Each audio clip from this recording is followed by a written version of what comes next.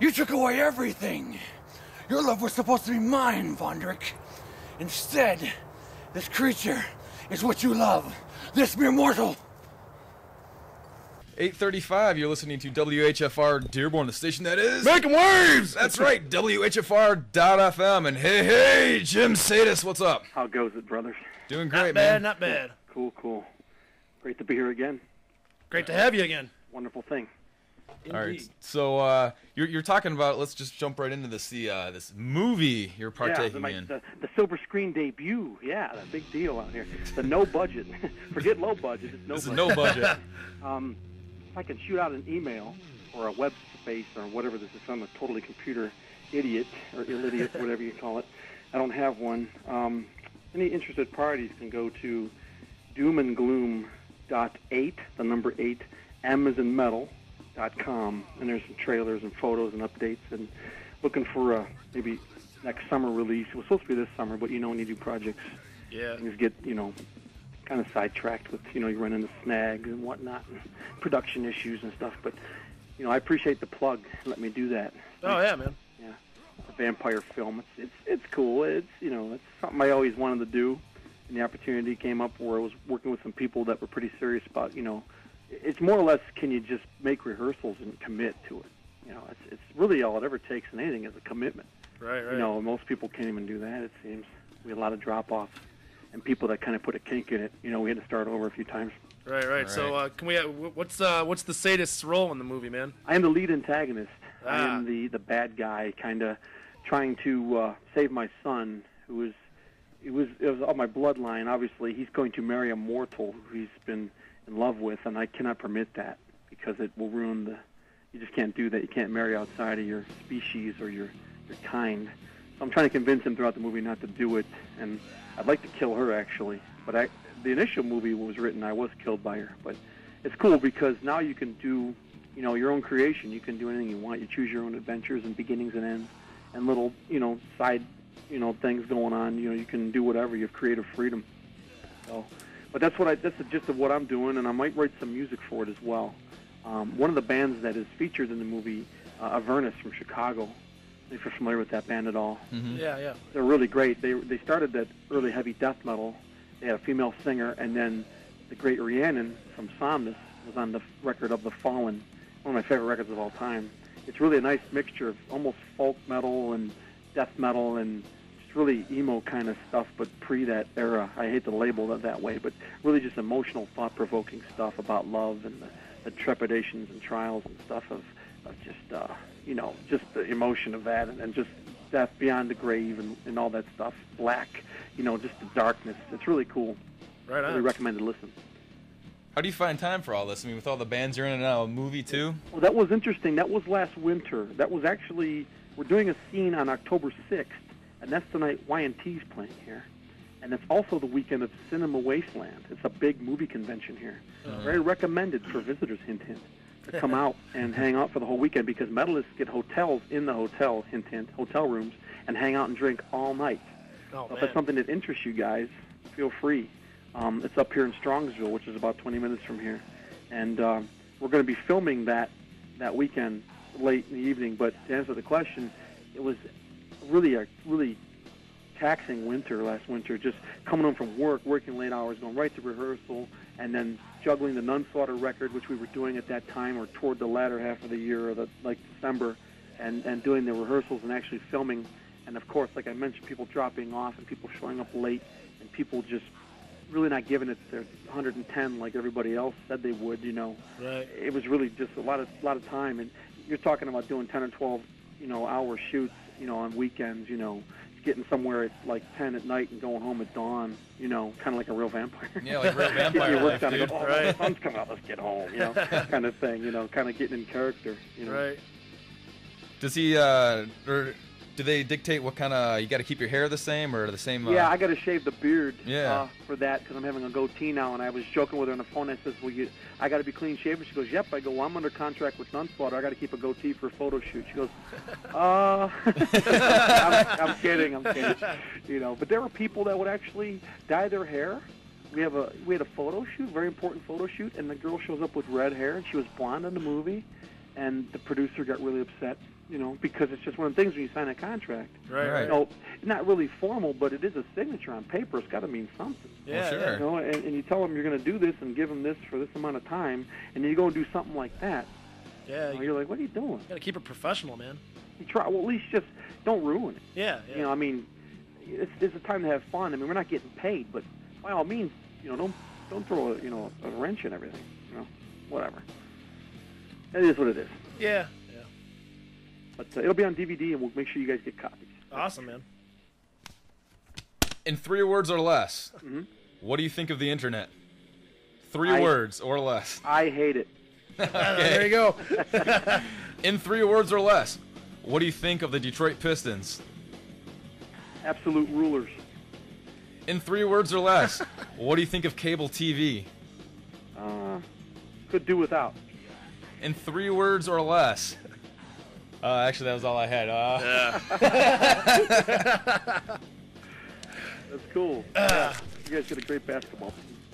So, all right, here's here's a question that we've been uh, we've we've been pondering on for a while. and I don't think we've ever gotten around to ask you. Uh, the cover of Hell's Unholy Fire, man, that goat dude on the cover. Where is that from? That's my uncle. He used to chase around the backyard like Yeah. that when we were kids. And that's me Oh. holding up the voodoo doll and to get him away from me. That explains everything. No, no, no, it's it's actually from an excellent book. The only thing I ever did in high school was read this book in the library because it was so satanic. It's a book called Witches and Witchcraft, All right. and it's by Jeremy Kingston. And it's a 1975 publication. You can get it on. I got it for 10 bucks on uh, what's that e-book thing? yeah, on a yeah, uh, yeah. Uh, what is it? like a, a website. Do you mean? no, no, yeah. What is it? You buy books from it. Uh, a uh, commercial website on the internet. Amazon. Yeah. Oh, okay, Yeah, yeah, yeah. I don't know if we can say that on the radio, Yeah. but I, I can't talk price. I didn't. But yeah, I, did I say price? No, no, No, no. no, Keep no. going. Okay, Just good. keep I'm trying to watch myself. Yeah. Um, yeah, I, but I got it within a week. I didn't think I'd ever find it again. Right, right. And in fact, we can talk off air about some other great books, and I'll give you some uh, authors and publications, and and you know you can get them. They're great. But that book is laden with all those photos. And in fact, that same guy is on on the back of the CD watching that ritual. yeah, yeah. But there's so many other pictures, and a lot of the seven inches we did in that era has those pictures from that book. Right, right. Really great stuff. But that is one of the most haunting pictures. Yeah, man. Yeah, we've always uh, we've always wondered where that was from. There's uh, a couple other bands that have used that. I think um, another band did it just the face, and it's kind of black and white and kind of messed with, Oh, okay. kind of vexed or stroked a little. You can't really tell, but you can see the. the chamber nights was fun because we it was a nightclub and i'm not allowed in nightclubs but uh, it was my first time ever in like a real bar and we actually i met some really cool people and we just hung out there for a while and during the breaks we would just sit and talk and people actually were nice there some of them others were just a little weird hmm. but other than that they were nice and then jim is probably like the coolest person here i think personally because I mean, like he's got so much stuff to say, and he always makes corny jokes, and he, he makes it a fun time being over here. And he's a great actor. He's wonderful at it, and I want to be a singer too, also. And he's he helps a lot with that, and he's very supportive of almost everything. And he, he's good at um, he's good at everything he does, whether he tries or whether he doesn't. He's good at it. I think Jim is just phenomenal with his music and his acting. Um, for never acting before, he just was really on point. From October to November 2006, uh, things changed quite a bit for us as we initially uh, took on the project.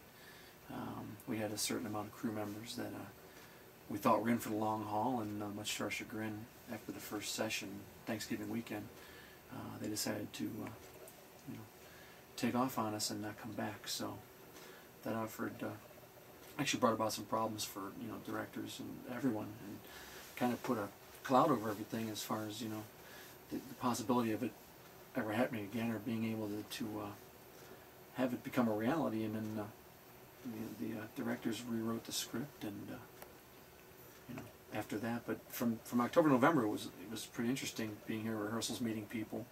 And when you're first sitting there, you're, wondering, you know, it's like ten little Indians. Who's going to make it? You know, who's going to be there? Everybody has the same fire and same interest and same, you know, freshness. But then, you know, you you sit there and you just wonder, is this person going to be here? You know, are they going to put up with all this? Are they going to go that extra mile? Are they going to do what's asked of them? I mean, they're signing a contract. and the contract is a binding agreement. Are they going to live up to that? Unfortunately, most of them did not. And maybe fortunately, they did not either, because now we're here and we have a whole new, you know, situation. But, uh, quite impressed with the rapidity and the quickness how the directors were able to rewrite, you know, something so fast and it being pretty much very different and almost sequential to something else at a later point in time. Either it could be before or after the initial script. So it worked out. I, I you know, I honestly really like the one that you know we finished. I mean, I'd like to see the other footage used too sometime somewhere, but you know that's up to them.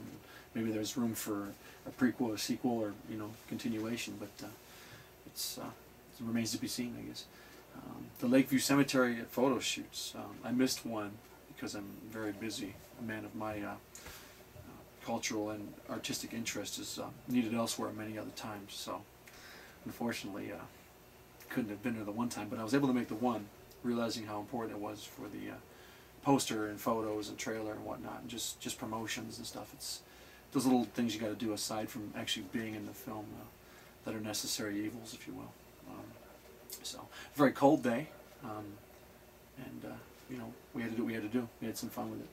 Um, speaking of cold, the snow days. Um, there was this dreadful, dreadful Ohio storm that we haven't had in about three years, and it came on a Wednesday and I remember I couldn't see my car because this little white Toyota, I saw the wheel, I think. And I'm thinking, well, I'm off today, but maybe I can make rehearsal on time. The one day I could be on time because it didn't work, and uh, we didn't have it. I called them and they said, uh, don't bother. We're trying to find our house or find our car too. We're trying to just burr our way out of the house here and get to the street. So uh, it was cancellation. It happened a few times actually with the weather. Um, you know, you set aside you know time to do something, and then Mother Nature and Father Time do whatever they do to you, and then you got to kind of work around it. But uh, you know, live and learn. Plus, you got to roll with it up here in Northeast Ohio. What are you gonna do? You know. Um, Brandy dyed her hair too. That's something. I mean, I was thinking getting like a bleach blonde surfer cut midway through too, but uh, something kind of, you know, last second compelled me not to. But I did cross my mind just to be difficult. But then I saw the the impact that the this has and the difference and just how it changes things and uh, you know it just isn't a good idea to uh, alter your appearance in the middle of something that you're working on because you know you need the same look and the same you know image. And if you change that then you've more or less ruined any chance of any extra footage or you know at least in the same time frame. But I don't know what she was thinking but it wasn't a bad color. This wasn't a good time I guess. Um, February dates and chaos well, I didn't have any dates in February. I think I, I only saw a couple girls in January. Oh, date. Oh, filming dates. Oh, um, I'm trying to think. I didn't have any problem with anything. I didn't see any chaos. I don't have the I don't have the uh, personality to to let things get chaotic. Even when things are chaotic to me, I, I just kind of let the storm blow over. I, you know, or if someone else is having an issue, and there wasn't a lot of that on this, and I was very happy. I mean, you know, the the directors, you know, at times had red odds about a few things, you know, you know, but there wasn't really a lot of uh, quarrels or uh, skirmishes between actors and, or and or actors or directors or staff or crew. So it wasn't really. I don't know really what that question means. It, maybe someone thinks chaotic or chaotic situations are a little different than what I would consider. But Dave Winters. Where is Dave Winters? That's the question for me. That's the question of the year because he is the Johnny on the spot. You're at the guy's house, you need a piece of tape, you need a hot dog, you need this, boom, boom, you need wood, you need fire. There he is. Where is Dave Winters? Gotta know where he's at all times because he'll make it happen. Definitely a cool guy. Definitely a diamond in the rough, helped out a lot, offered us his property and his home, and just really treated us really well, and uh, we're lucky to have him. And uh, Quiet She Devil, great line. Gotta love that. I wish he could have made that. That'd great. Um, and then aside from other places, you know, that place being one of the places, the Chamber Nightclub was another. Um, again, Kat and the DeFraziers being very, very hospitable to us and letting us do that. Really great people. Um, really lucky that we're allowed to be in there and do that there, and uh, maybe give them some exposure as well. Obviously, with the movie, and, and you know, it's just a lot of fun, and uh, you know, just having a good time, and you know, getting lucky with people being able to work around us and, and open their doors to us. Really, you know, just you know, treating us like you know, family almost. It's very nice. Um, I'm not a chamber regular. I'm more of a fantasy guy, but it's a great place. The whole, you know, the whole shebang is just fantastic. Uh, personal relationships. opinions on other actors and actresses. Oh God, do you want to hear this?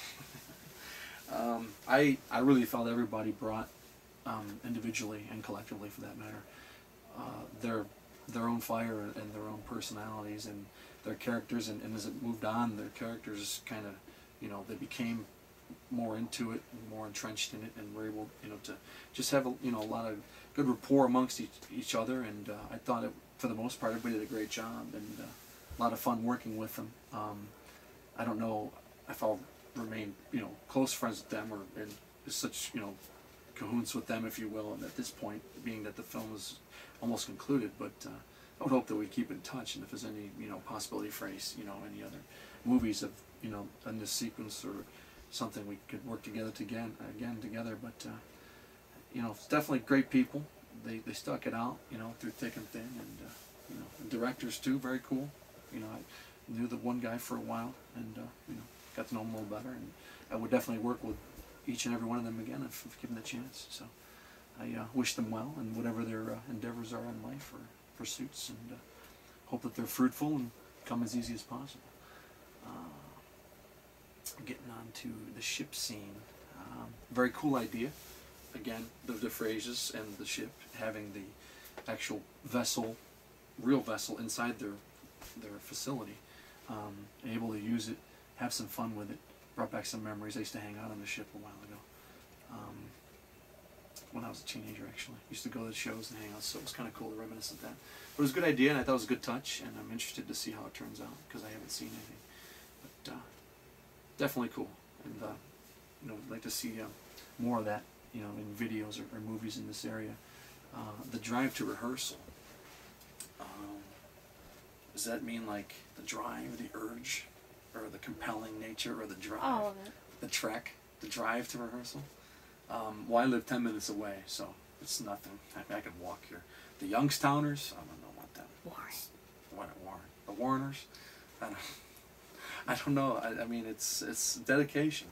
Getting back to a couple points prior to it's uh, it's quite a uh, it's, you know quite a lot to ask of people that to, you know this time of year in this area uh, to to be out here so frequently, and they did, and uh, really without any any hassle or, or you know burden, and uh, at least to the film. I mean, it might have been you know on their behalf, but uh, very impressive. Anyone that you know came from wherever to come here or to these rehearsal sites, you know, I, I give them a lot of credit for at least trying, you know, and being there and you know being as uh, ready to work as possible, you know, willing to work. Love survival song, sing it and tell it. Or you can just do one. Well, I was singing it the other day, actually. Um, I think it's a good song. Um, I'd like to see it come to fruition. I don't know where it's at right now. We've had some people drop off, so I mean, it kind of just fell apart. But uh, the potential's there for it to be something. Maybe even in this film, if we have to work with some haste. Um, Marie can write, definitely. Um, she's proven that with the script and the song. She can sing. She can do a lot of things. Um, she's one of her many talents, and uh, if uh, enough perseverance and enough patience, I'm sure it'll it'll come to fruition. Just how how and when, we're not sure at this point. But uh, it's a good song, and I think it uh, will go well with the film, and maybe the film and the song will remind people of one another when they hear it or see it. So I think it's a good touch, and I think it should be uh, something included somewhere. Hopefully, we can we can see that come to come to fruition. Encouraging words for people who want to make a movie or act. um, be ready for anything. Uh, and that means any kind of setback, sometimes even a serendipity, even a, a uh, you know a fortuitous thing that happens that allows you to have even more than you thought. You know, and and and one thing that they did, which I was very impressed with, and I didn't know if they would, they listen to their people, um, and they let their people, if they had an idea, you know, bounce it off of them, and they gave it a chance, and even if it was crap and it didn't make the cut, still they were able to acquiesce and they were willing to hear and listen and I thought that was very cool and I think that deep down they they know also that that's essential. Um, or it's important or it's it's it's handy or it comes you know it, it's something you want to have you know just to be open and be versatile to other people. And uh, it can only they can only help but uh, if you want to do something try it and uh, get the right people. Make sure you get people that want to do it and want to help. And uh, you know, give it a whirl.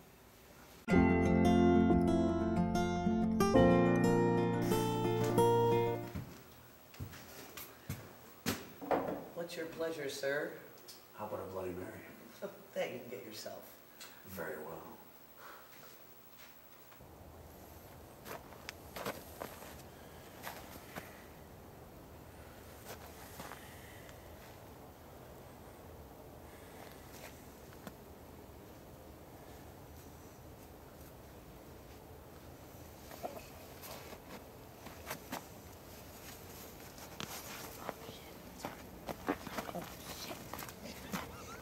Little girl.